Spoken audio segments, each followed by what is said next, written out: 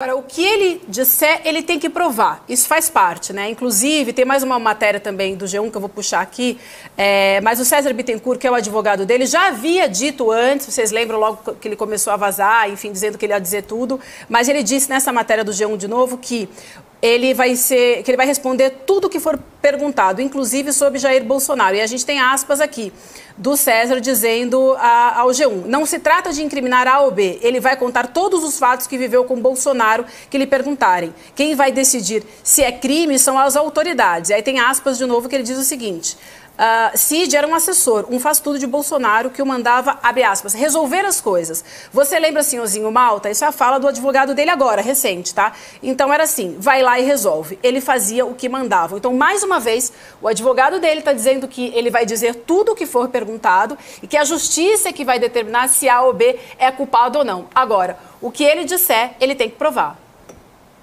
É, Vivi, uma da, da questões que envolvem a colaboração premiada, chamada de delação premiada, é justamente o fato da pessoa que está colaborando né, com as investigações e com o próprio judiciário, por vezes, ela abre mão do seu direito constitucional de permanecer em silêncio. Então, de fato, um dos requisitos para que a delação ela seja homologada né, e tenha validade é ele abrir mão do direito de silêncio. Então, ele, a, a partir de agora, precisa responder absolutamente tudo que lhe for perguntado, né? Porque isso é um requisito da própria delação, e vai precisar indicar todos os autores é, dos delitos, né, eventualmente dos, dos, supostos delitos aí que estão em investigação, e toda essa organização, inclusive no que diz respeito à hierarquia.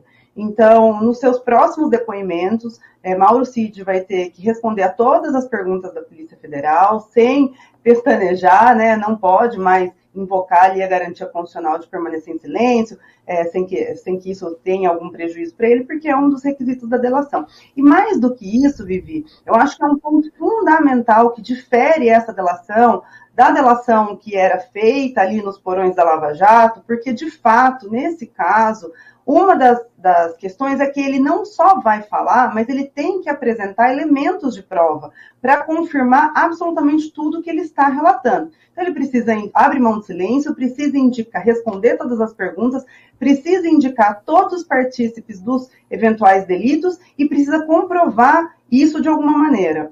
Claro que a PF ela já tem vários elementos de prova, tem ali os e-mails, tem é, conversas de WhatsApp, é, e aí ele pode indicar tanto nessa, nessa documentação que já está no inquérito policial, demonstrando ali a veracidade das suas alegações, mas também levar outros elementos de prova, né, confirmando ali o que ele está delatando. E a gente tem pelo menos três núcleos de investigação que dizem respeito aos atos antidemocráticos, roteiro do golpe, a gente não pode esquecer da minuta do golpe, é, a questão da falsificação das carteiras de vacinação é, e também a questão das joias. Então, nesses três núcleos, pelo menos, Mauro Cid vai ter que identificar cada um dos autores, dos partícipes e levar também elementos que comprovem suas alegações.